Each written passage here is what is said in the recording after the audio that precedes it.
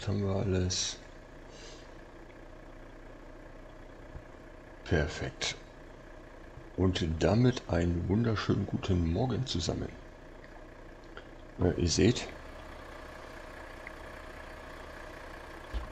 wir stehen hier bei Ikea. Auflieger ist beladen. Und jetzt machen wir uns auf den Weg.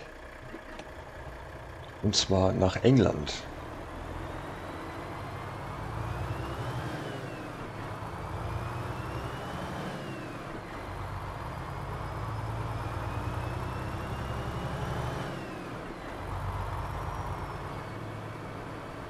Und der ein oder andere wird sich sicherlich wundern, warum ich jetzt bei dem Wort England nicht irgendwie äh, komische Laute von mir gebe. Hat damit zu tun, dass ich diese Tour heute wirklich sehr, sehr gerne fahre.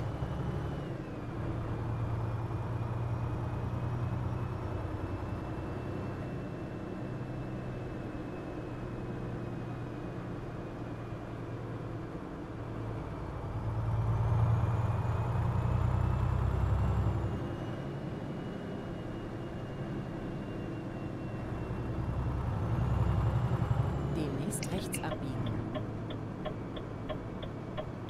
Und zwar aus dem Grund, weil ich hatte gestern mit Marian noch telefoniert.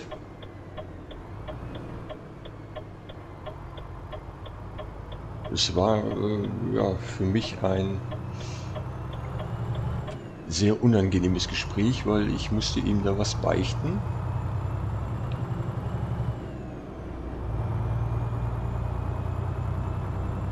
Aber wieder erwarten hat sich das alles doch nicht so schlimm herausgestellt, wie ich dachte.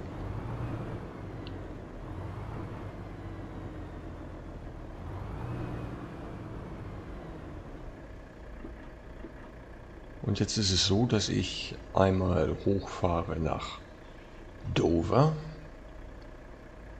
dort die Altverpackung von Ikea abliefer.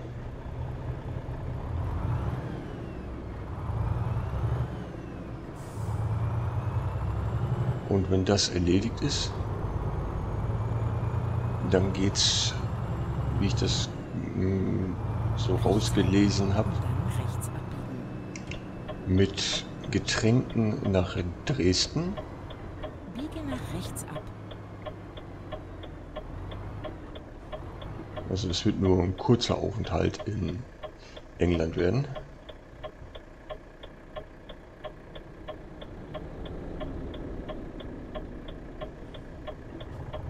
Ein schönes Silo.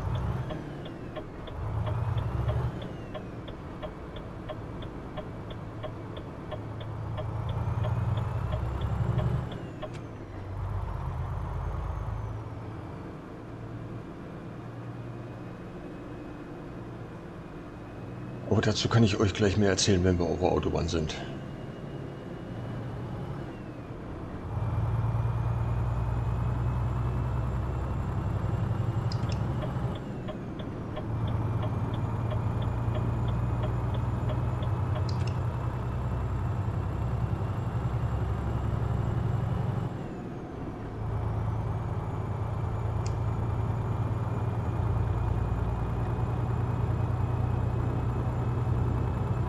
Der ein oder andere wird es ja vielleicht mitbekommen haben, wie ich mit Marian telefoniert habe.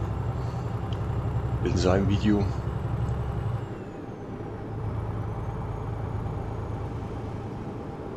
Rechts halten. Und dann Ausfahrt rechts nehmen. Durfte mir da ja auch so ein bisschen was anhören. Nimm die Ausfahrt rechts. Biege nach rechts ab.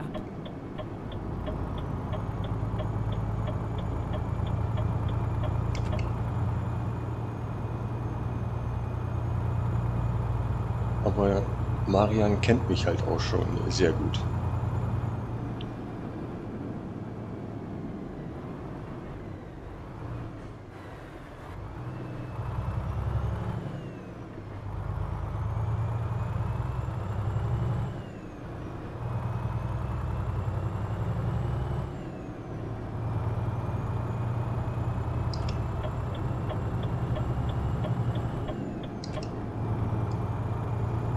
So, da wollen wir jetzt mal ein bisschen rollen lassen.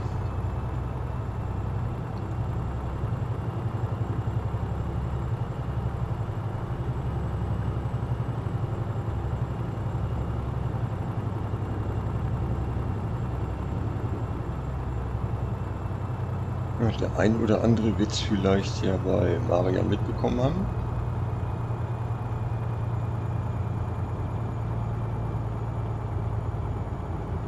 Er hat sich jetzt ja einen neuen Untersatz gekauft.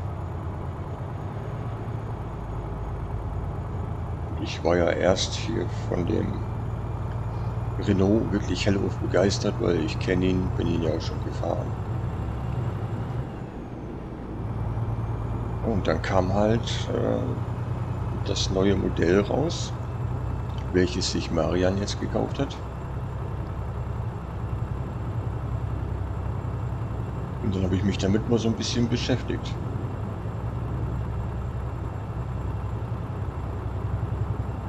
Und ihr wisst ja, ich bin ja auch schon den 106er gefahren bei der East North. Und das Ding hat mir ja auch schon wirklich sehr gut gefallen. Auch wenn ich in Island ein bisschen kaputt gefahren habe.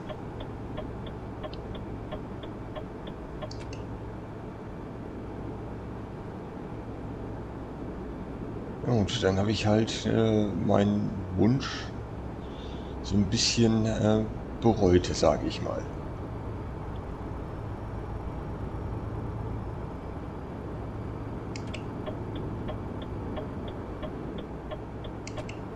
Nichts gegen diesen LKW.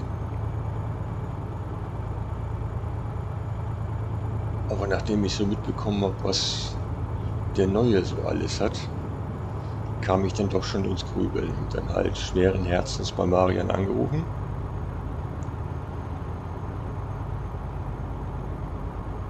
Und nach einigen Hin und Her sind wir jetzt halt so verblieben, dass ich, wenn ich aus England zurückkomme, dieses Fahrzeug hier bei der East North in Dresden abstellen werde, ausräumen werde, mich halt in einen Leihwagen schmeiße und nach Leipzig düse.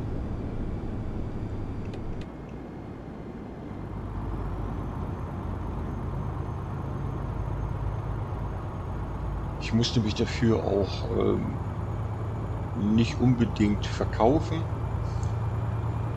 Aber ich muss jetzt erstmal ganz, ganz kleine Brötchen backen.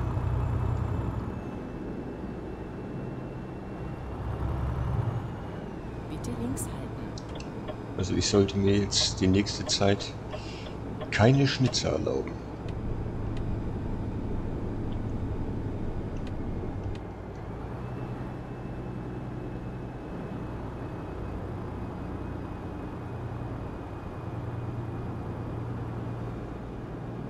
Natürlich auch noch ein riesen, riesen Dankeschön an Marian, dass er mal so diese doch etwas größeren Kapriolen von mir mitgemacht hat. Wobei er das Ganze ja schon irgendwo gerochen hatte.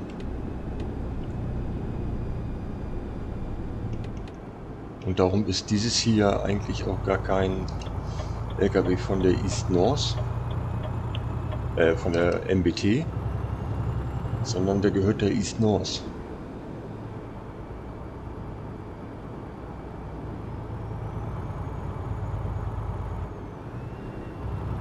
Und geht, qua äh, geht quasi wieder in den Verkauf.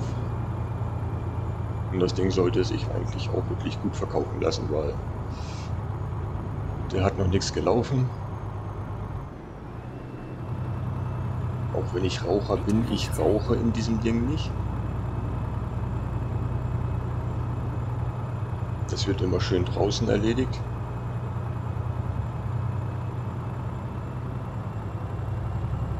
Rechts halten und dann Ausfahrt rechts nehmen. Nimm die Ausfahrt rechts.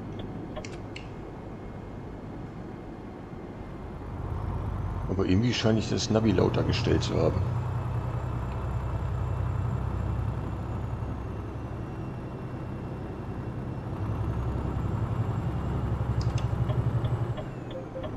Kommt mir zumindest so vor.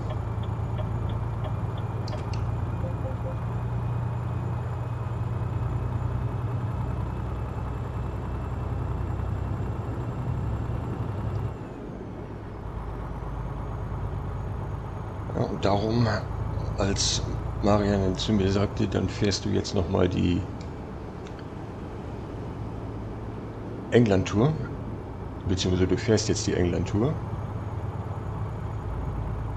habe ich auch nicht gemault oder gemeckert oder sonst irgendwas.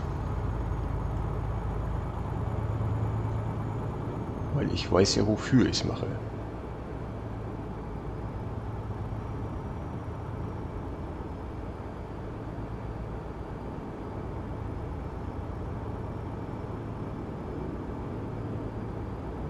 Und er wusste ja ganz genau, dass ich jetzt da dann doch bei ihm ankomme.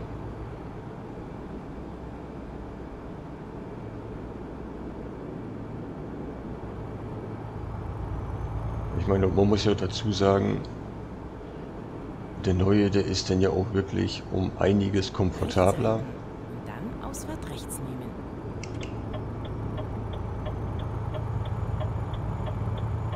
Die Ausfahrt rechts. Ich erzähle gleich weiter, aber erstmal hier kurz ein bisschen aufpassen.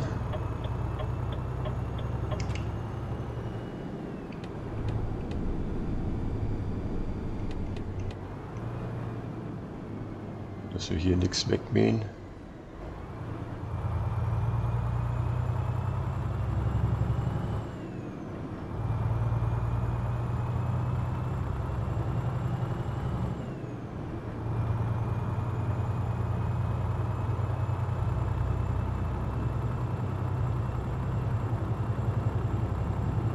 Ja, mein Tagesziel für heute habe ich auch schon. Bis zur Insel kommen wir definitiv nicht. Das, das kriegen wir heute nicht hin.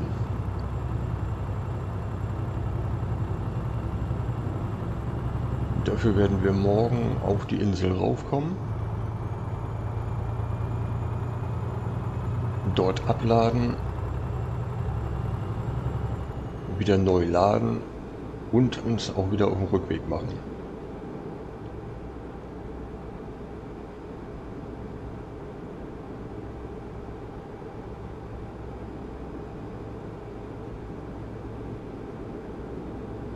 Wie ihr euch ja sicherlich denken könnt, werden wir das dann auch nicht zurückschaffen.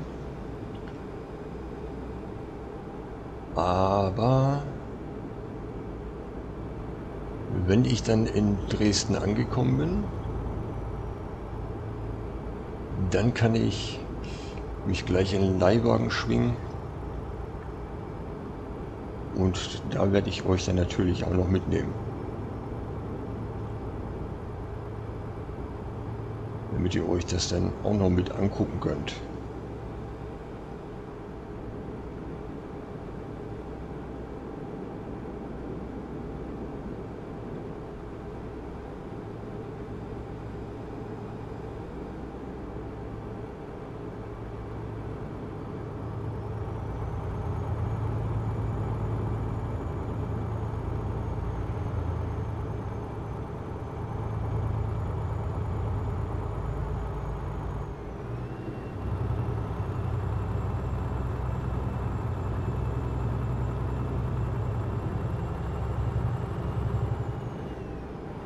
Ja, das war dann ja ein relativ kurzes Gastspiel von diesem LKW hier.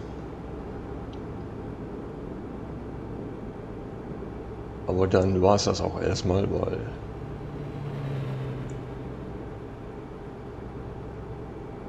man wechselt ja seine LKWs nicht wie Unterhosen. Auch wenn ich es aktuell irgendwie mache, aber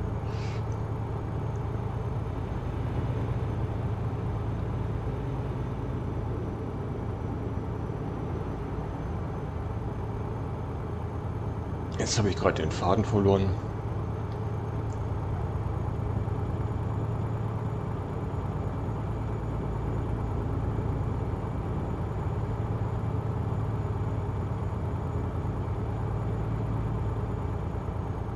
Naja, jetzt habe ich ihn wieder. Ich wechsle zwar jetzt nochmal wieder den LKW, aber dann wird es halt auch dabei bleiben. Mit dem werde ich dann wirklich auch gute Touren fahren. Und ihr werdet auch bei jeder Tour dabei sein. Rechts halten und dann Ausfahrt rechts nehmen. Und da wird jetzt dann nicht irgendwie zwischendrin auf einmal noch wieder ein neuer Vorführer sein oder sonst irgendwas. Sondern schön, dass ihr jede Tour miterlebt. Was ich so erlebe.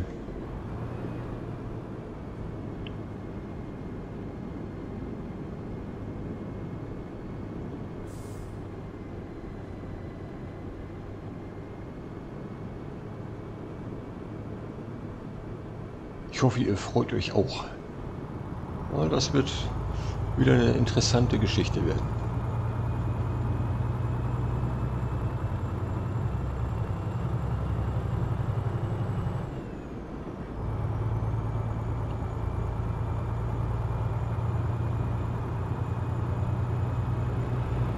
Und bisher kommen wir wirklich gut durch.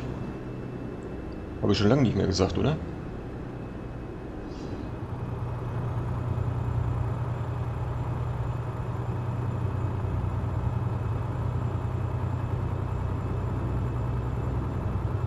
Aber ich sollte es vielleicht noch nicht zu laut sagen, weil es kann immer noch irgendwie ein Stau kommen oder was.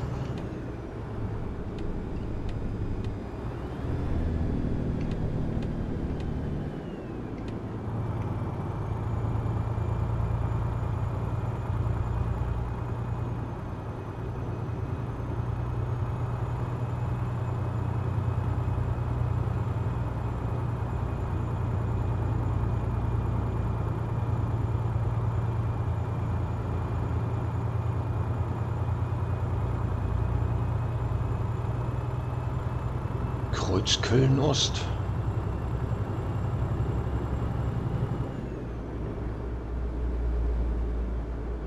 Da haben wir ja schon ein gutes Stück geschafft.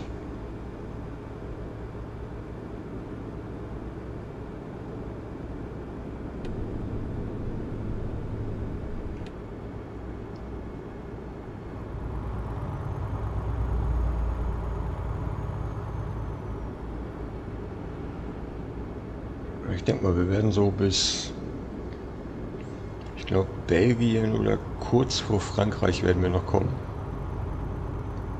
Bitte links halten. Da gibt es noch einen schönen Rastplatz.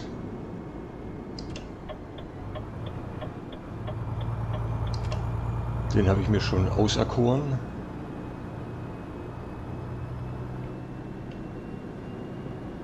Vor allen Dingen ist der da auch bewacht.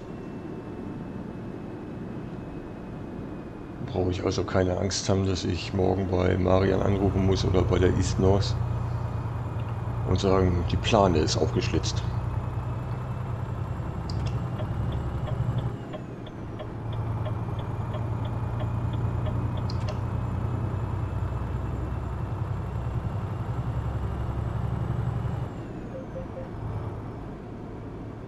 Wobei ich auch nicht wüsste, was die mit Altverpackungen wollen. Bitte rechts halten.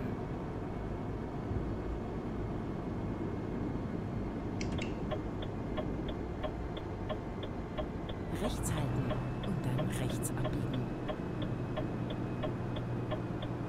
Biege nach rechts ab. Ich denke mal, das wird dann sowieso auch ein bisschen komisch, dann keine Spiegel mehr zu haben.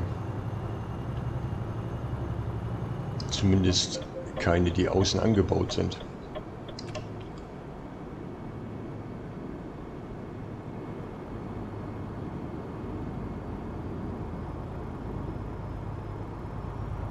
Aber ich denke mal, ich werde ja sowieso erstmal noch eine Einweisung kriegen, wie alles funktioniert. Weil bei dem Ding ist ja doch einiges neu.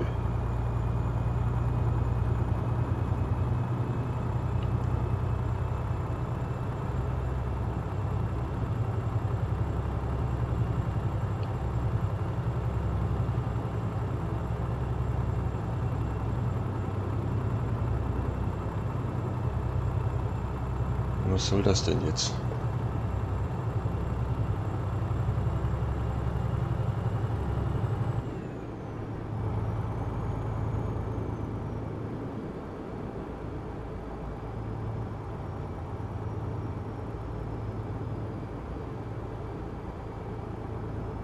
Bitte links halten. Auf dem Schild stand gerade Eindhoven. Da ist Marian ja unterwegs hin. Bin ich ja schon ein bisschen neidisch, dass er seinen direkt abholt.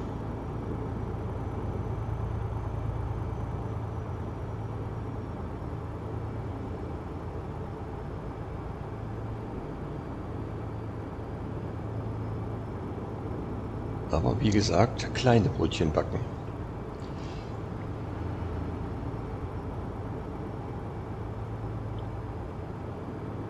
Hätte auch sagen können, ähm, nee, Kollege Schnürschuh, du wolltest das so, dann komm damit jetzt klar.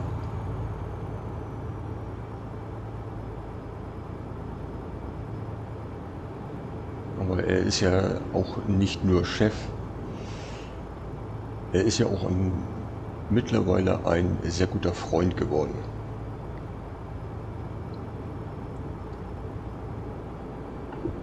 Was jetzt aber nicht heißt, dass ich mir da trotzdem alles erlauben darf.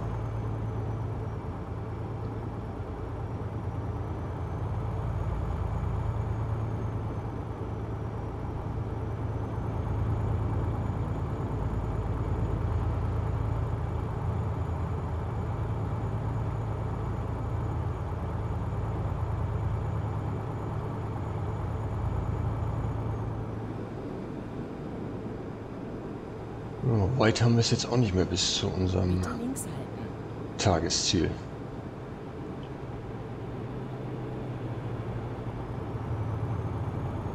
Haben wir auch schon den Großteil der Strecke dann geschafft.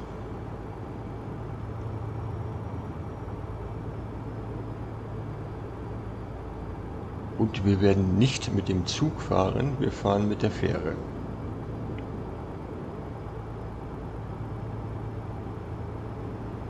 Das bietet sich einfach mehr an, weil mit dem Zug hätten wir dann noch zu viel, wo wir erst noch über die Insel fahren müssten und so kommen wir mit der Fähre direkt in Dover an. Und dann ist es quasi nur kurz um die Ecke rum. Das ist aber nett von dir. Ist dann kurz um die Ecke rum und dann haben wir da auch schon gleich unsere Abladestelle.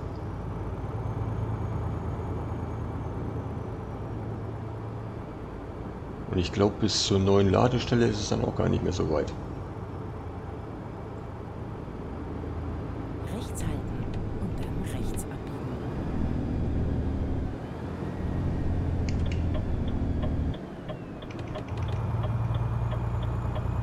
Biege nach rechts ab.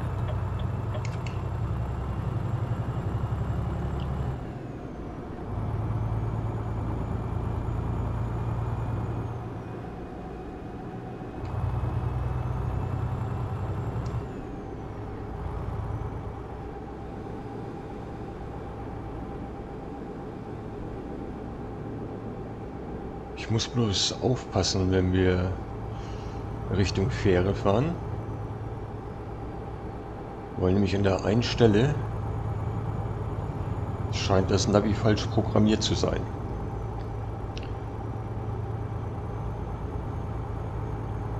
Da sagt es nämlich genau die falsche Richtung voraus.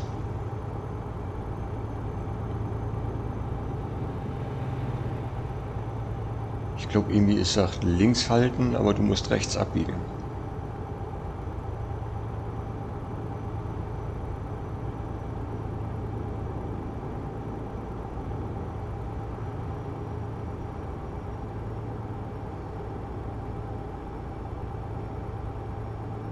Das hatte ich noch vom anderen Fahrer mitbekommen, der hier oben öfter unterwegs ist. Darum werde ich dann halt auch mal ein bisschen mehr dann auch wirklich mal aus Navi rauf gucken. Und nicht nur stumpf auf die Stimme vertrauen.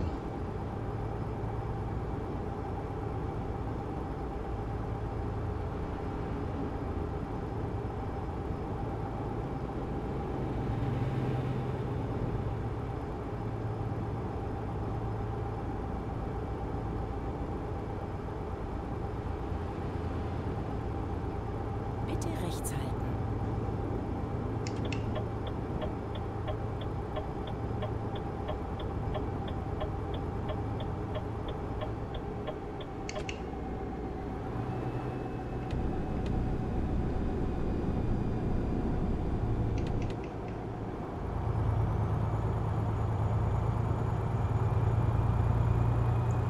Und dieses Autobahnkreuz hier, das ist auch so eine Sache für sich. Da habe ich mich auch schon das ein oder andere Mal verfahren.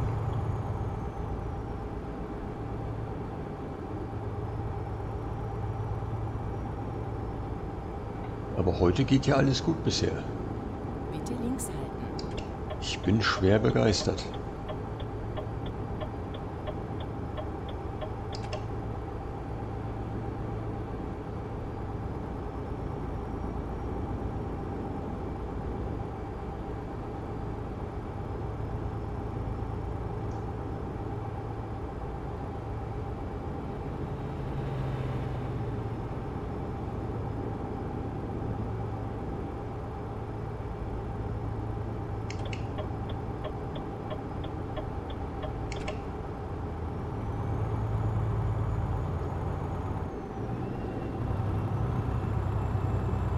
Wenn wir dann angehalten haben, werde ich Marian eventuell auch nochmal Bescheid geben, wann ich ungefähr wieder zurück bin.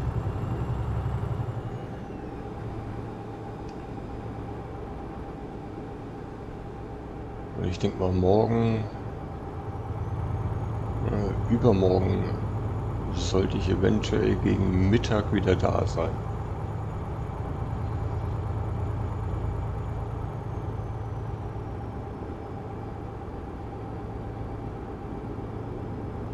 Rechts halten. Das sollte eigentlich machbar sein.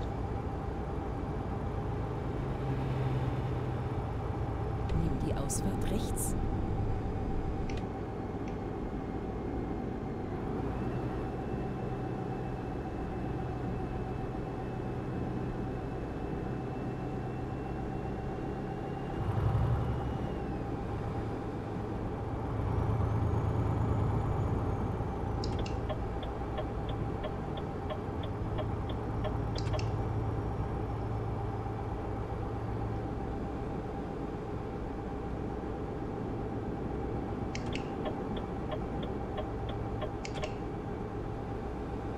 Und habe mir gerade hier alles schön eingeräumt und jetzt darf ich ihn schon wieder umräumen.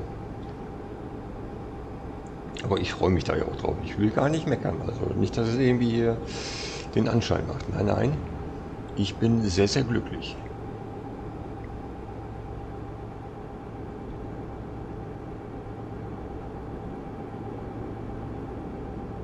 Und vor allen Dingen freue ich mich auch auf den Luxus in dem neuen Gefährt.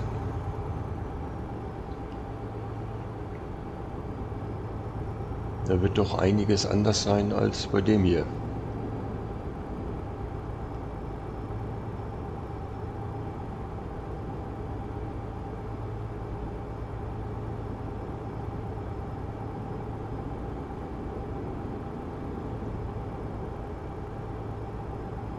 Aber ich muss mir da echt mal was einfallen lassen, so als Dankeschön.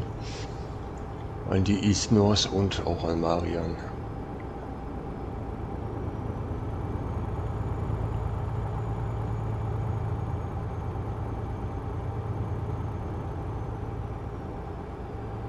Das war jetzt doch, ähm, ich habe den Bogen da doch ähm, ja schon ein bisschen überspannt, würde ich mal sagen.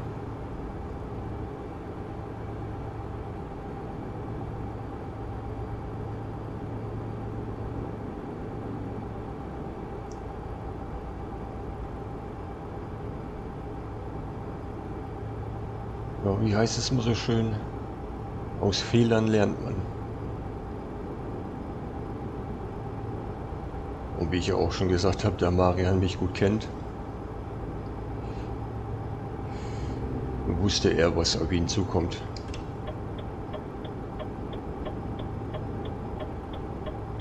Bitte links halten.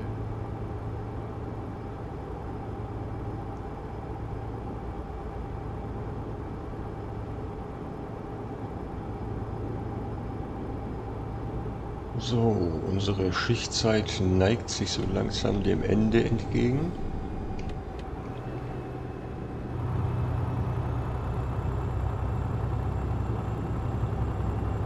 Der nächste Parkplatz wird somit unserer sein.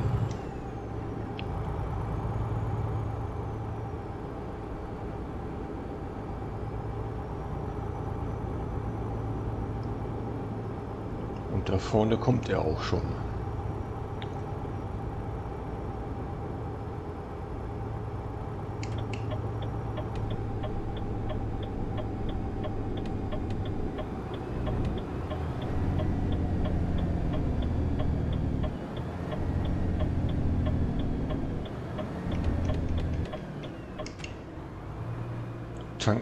Wir nicht. Wir haben noch genug Diesel.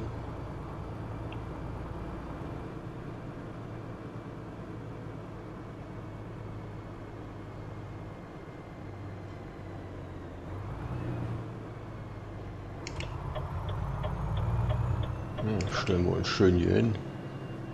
Und dann ist FIFA Feierabend für heute.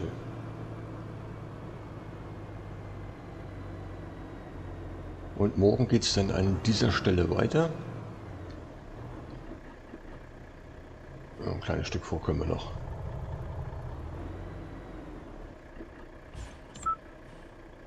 Ja, morgen geht es dann an dieser Stelle weiter. Und dann heißt es Insel willkommen. Ich werde mir jetzt noch mal ein bisschen was zu essen machen und wir sehen uns dann morgen wieder. Vielen Dank fürs Zusehen und tschüss.